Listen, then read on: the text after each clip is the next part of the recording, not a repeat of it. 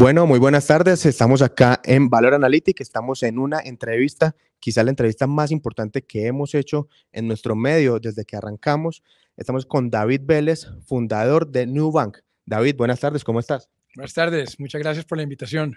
Bueno, para los que no conozcan, aunque todos deberíamos conocerlo, David es el fundador de uno de los neobancos más grandes e importantes de América Latina y ya creciendo mucho más, ¿no, David?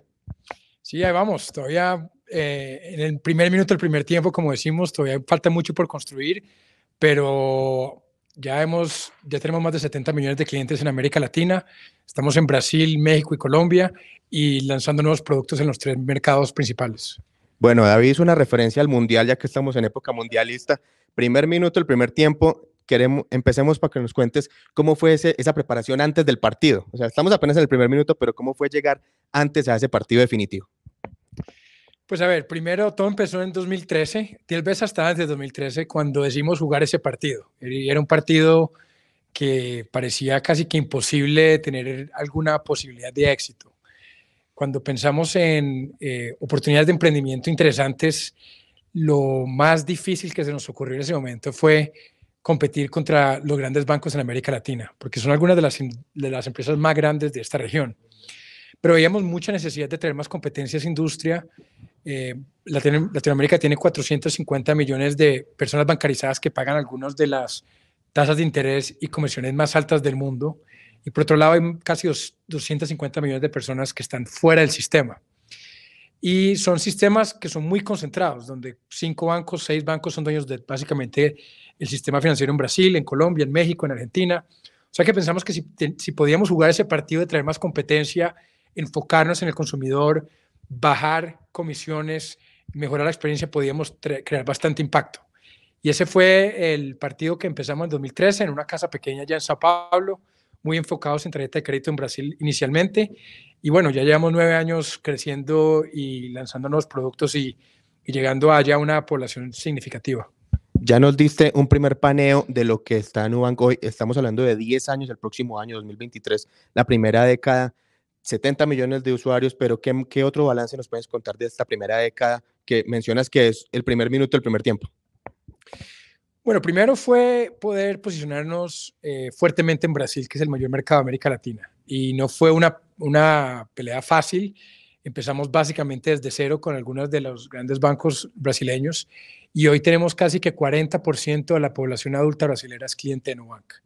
Y por varios años hemos salido ya ranqueados como el mejor banco de Brasil, tenemos los rankings más altos en términos de atendimiento al cliente, todo nuestro crecimiento ha sido viral, boca a boca, la gente le gusta el producto, le dice a su familia, a sus amigos, entra a Facebook, a las redes sociales, y eso nos ha permitido crear esa base de clientes y esa marca, y a lo largo de los últimos años hemos podido pedir una licencia bancaria completa, nos dieron la licencia después de cuatro años de pedido con el regulador, lanzamos cuentas de ahorro, lanzamos préstamos personales, una plataforma de inversiones completa, cripto, y ahora estamos haciendo un paso segundo que es ir más allá de servicios financieros, en lo que hablamos de marketplace, donde ya nuestros clientes en Brasil pueden accesar a e-commerce, pueden accesar a servicios y a una, a un gran número de, de otros productos no financieros. O sea que ha sido un gran balance.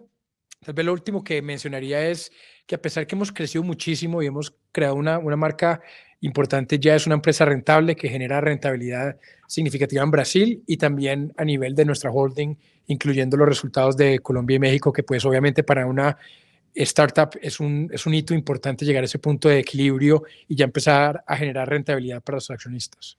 Para muchos en el mercado fue curioso, si se quiere, si me permite usar la palabra, que Nubank, siendo tú colombiano, empezara en Brasil, pero ahora ya están en Colombia y también en México, como mencionabas. Estos dos mercados, ¿qué nos puedes contar? ¿Qué balance tienen?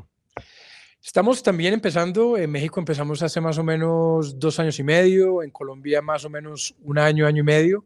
En México ya tenemos más de 3 millones y medio de clientes, ya somos uno de los mayores emisores del país. En Colombia hemos pasado los 500 mil eh, clientes, también ya nos empieza a posicionar en algunos de los mayores emisores. En los dos países ya somos el número uno emisor de nuevas tarjetas cada mes, o sea que estamos rápidamente ganando mercado en los dos países. Todavía estamos en un paso donde tenemos solamente un producto, nos faltan licencias para poder lanzar otros productos. En México ya anunciamos la semana pasada eh, que recibimos eh, la, aprobación regulatoria para integrar la licencia de Sofipo que nos permite lanzar cuentas de ahorro. Y en Colombia estamos en el primer paso de dos de recibir una licencia de financiamiento comercial que también nos permitiría lanzar cuentas de ahorro. O sea que, y después de eso vienen todos los otros productos que hemos podido lanzar en Brasil. Así que realmente estamos eh, apenas empezando en Colombia y México, pero la perspectiva hasta ahora ha sido excelente y estamos muy, muy contentos con la oportunidad.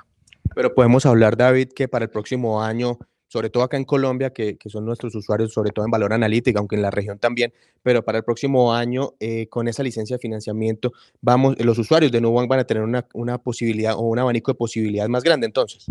Claro que sí, porque uno de, las, eh, de los puntos negativos de empezar con tarjeta de crédito es que no podemos decirle sí a 100% a la gente que pide. Tenemos que hacer análisis de crédito. Entonces, cuando empezamos con créditos mucha gente queda frustrada, mucho cliente queda como así, yo quiero la tarjeta, ustedes no me aceptan y simplemente tenemos que hacerlo por, por, por, nuestros propios modelos de crédito que tenemos que respetar.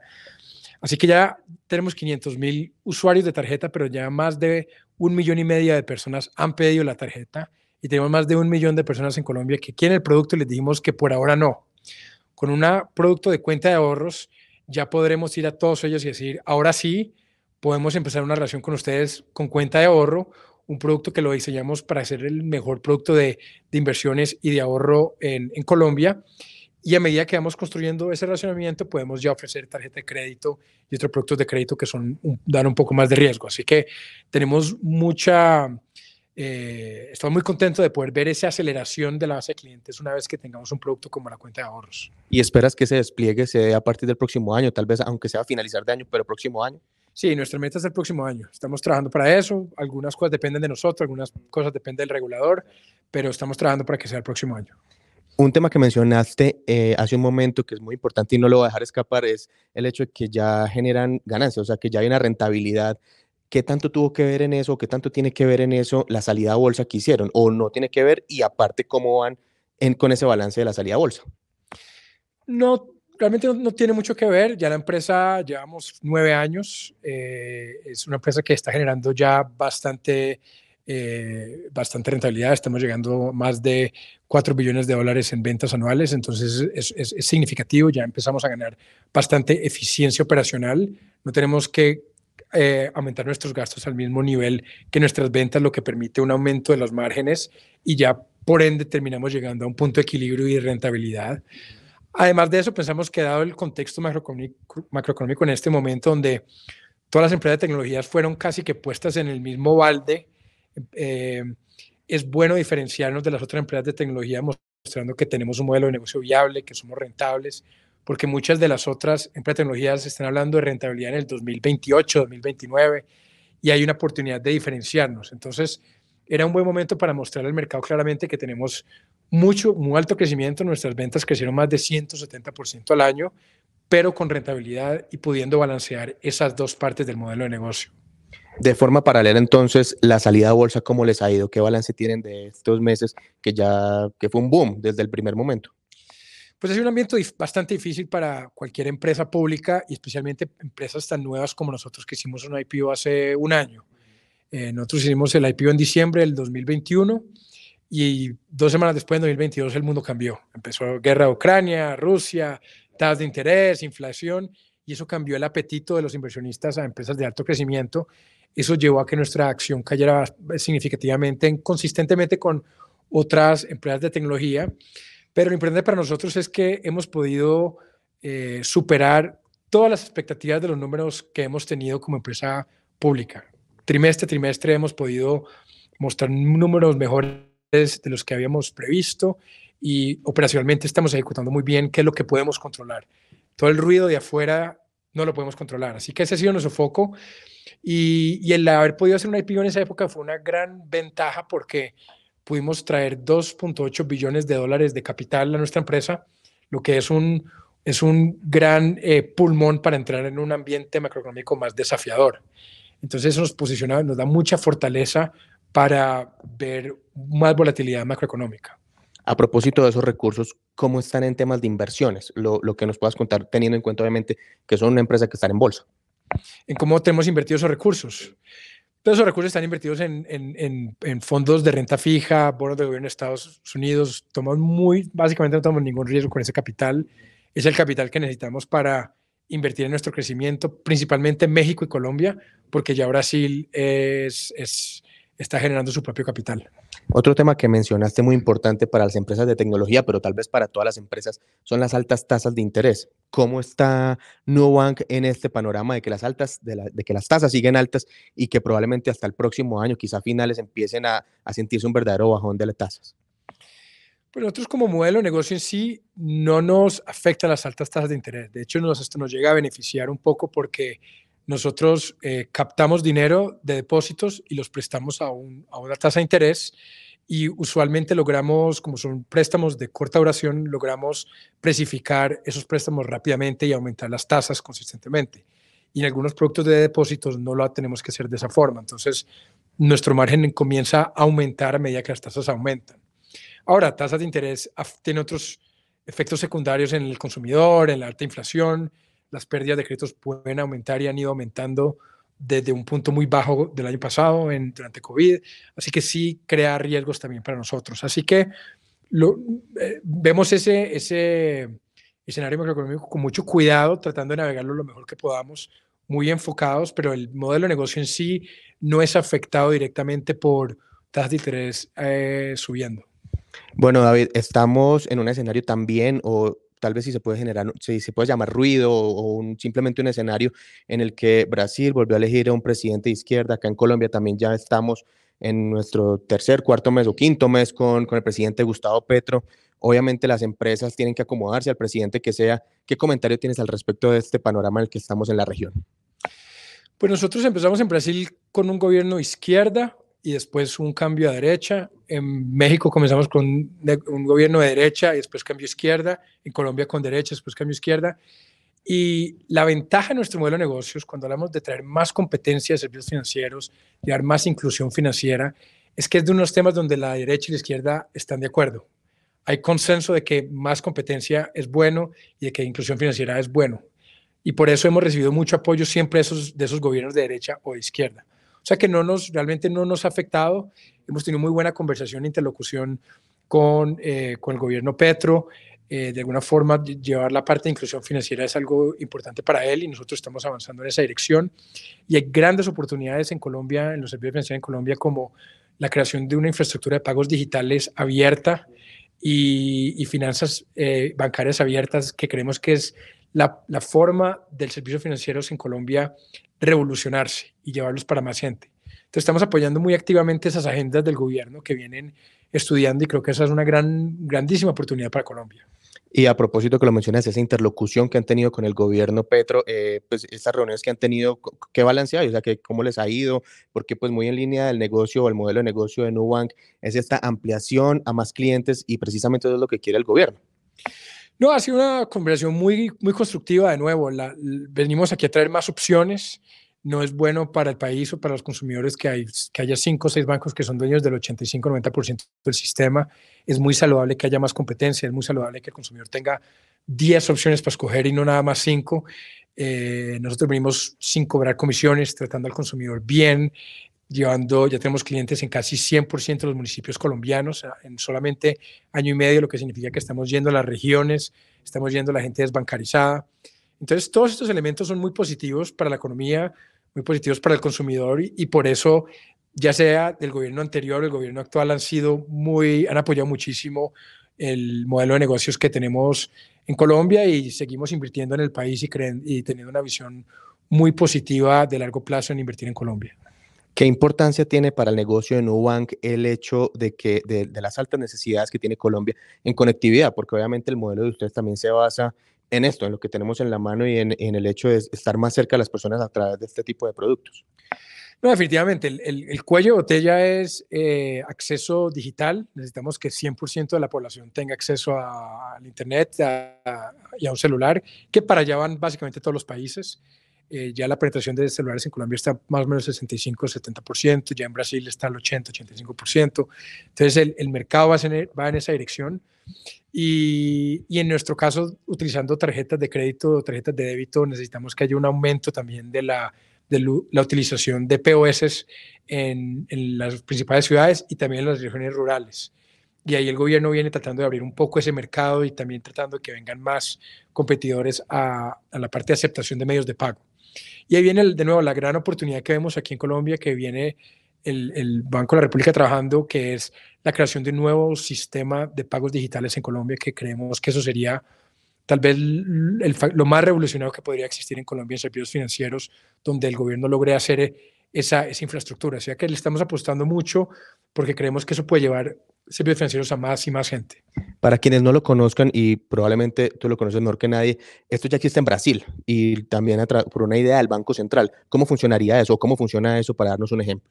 Correcto, creo que primero fue India que, que lo creó esto, se llamaba UPI en la India, después vino Brasil y es básicamente una infraestructura que es controlada por el gobierno, abierta para cualquier banco o fintech, donde los consumidores escogen un proveedor y se conectan a esa infraestructura y básicamente lo que crea es la capacidad de hacer pagos digitales, transferencias digitales de dinero en tiempo real, 24 horas al día, 7 días a la semana, gratis.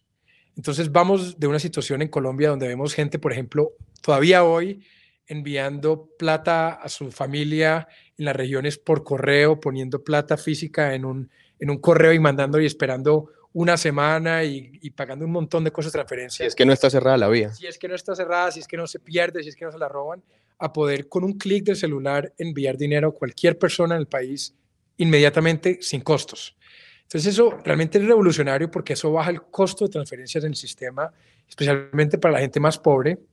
Para los pequeños negocios también les permite recibir pagos digitales de todo el país, les abarata mucho el costo de recibimiento y eso también comienza a crear una infraestructura de datos importante, información de datos, que le va a permitir a la gente recibir crédito, que ahí está otro cuello botella. Poca gente tiene acceso al crédito en Colombia, porque están fuera del sistema, utilizan solamente papel moneda.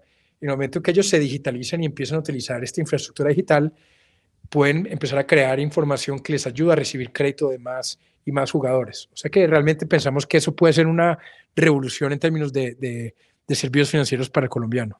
Bueno, volviendo un poco a, también a lo que estamos ya, y ya mencionamos algo del 2023, de este trámite que están haciendo ante el regulador, ante la superintendencia financiera, ¿qué otras cosas nos puedes contar que vengan para el 2023 para Nubank en Colombia? Tanto para las personas que tienen la cuenta ya abierta o que tienen un servicio ya con ustedes, como para quienes digan, oiga, esto está muy interesante, veamos qué tienen.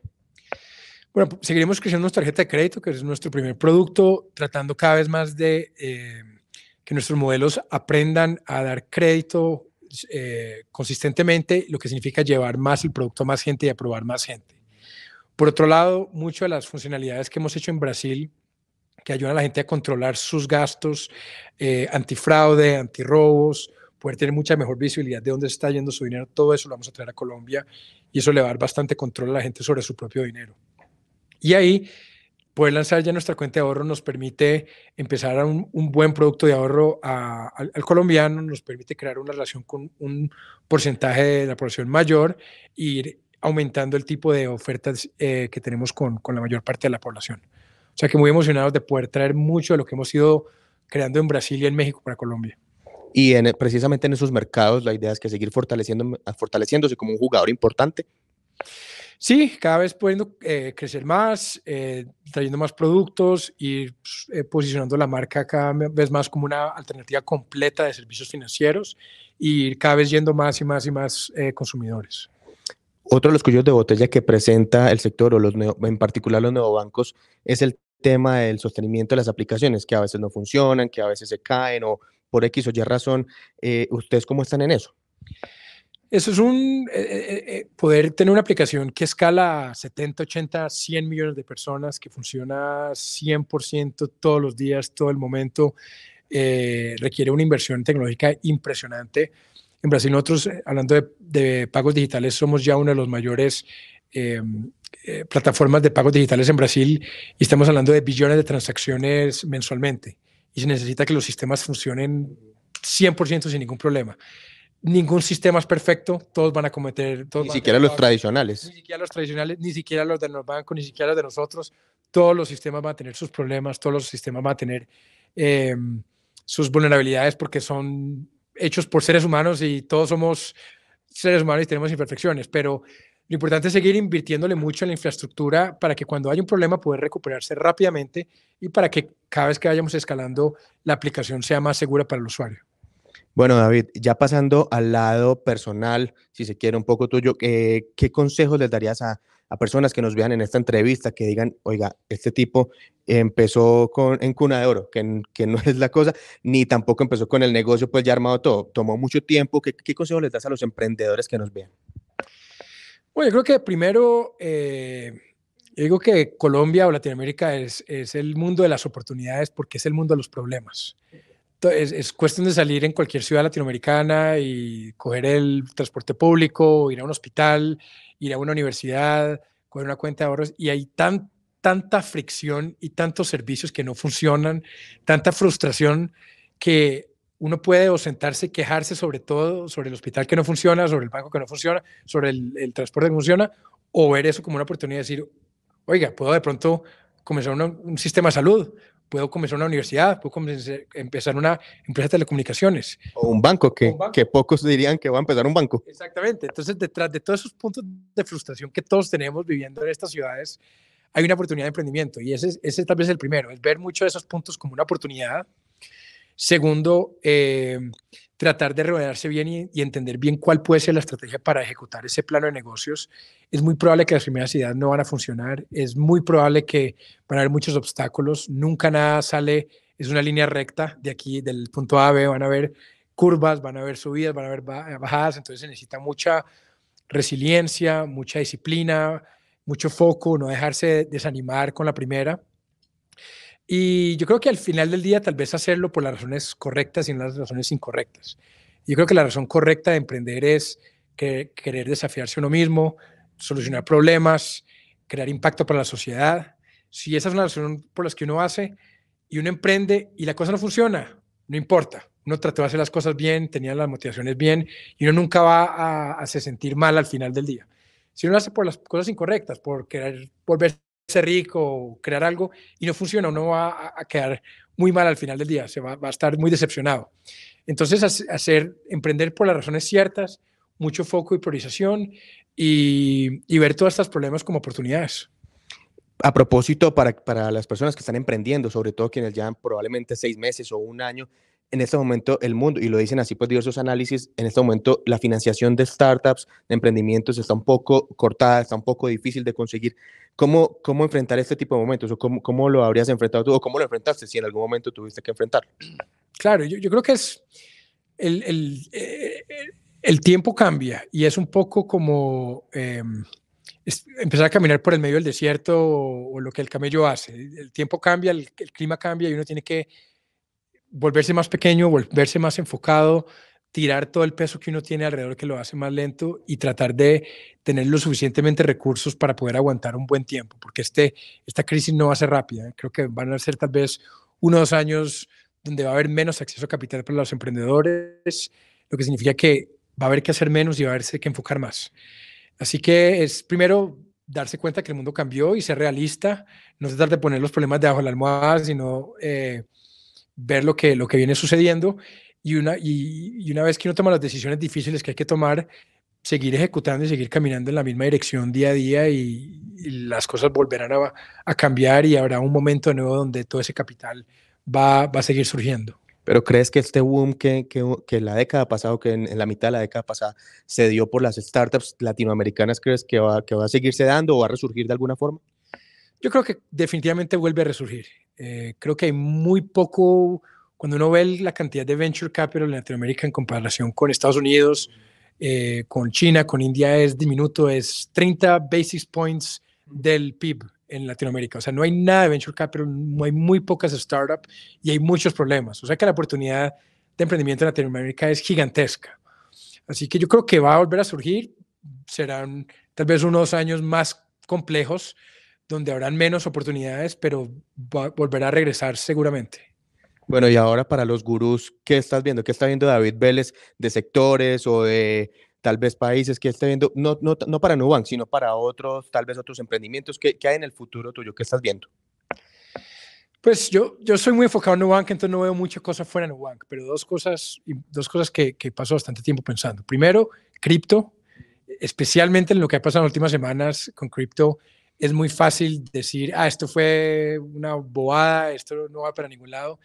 Y es muy parecido a lo que pasó en la burbuja de Internet en los años, en el 99-2000, cuando un montón de compañías hicieron IPOs que no tenían ningún modelo de negocio, hubo todo tipo de fraudes, hubo tipo de scams, todo, muchas cosas desapareció, pero de esa burbuja nacieron Amazon, nació Facebook, nació LinkedIn, nació Google, nacieron las mayores empresas del mundo en este momento.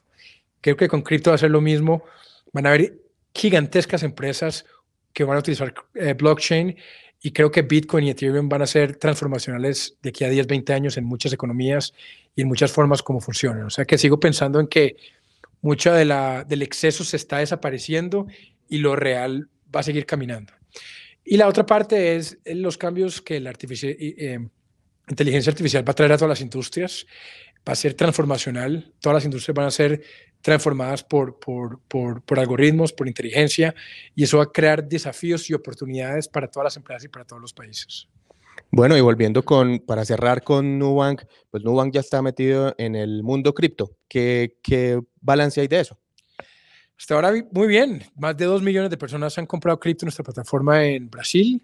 Eh, queríamos dar una opción de cripto a nuestros clientes que fuera, eh, que fuera segura, sin venderle muchas de esas tokens especulativos, entonces simplemente creamos una plataforma simple que ofrece Bitcoin y Ethereum, que creemos nosotros fundamentalmente que son los, los tokens que van a tener más viabilidad en el largo plazo.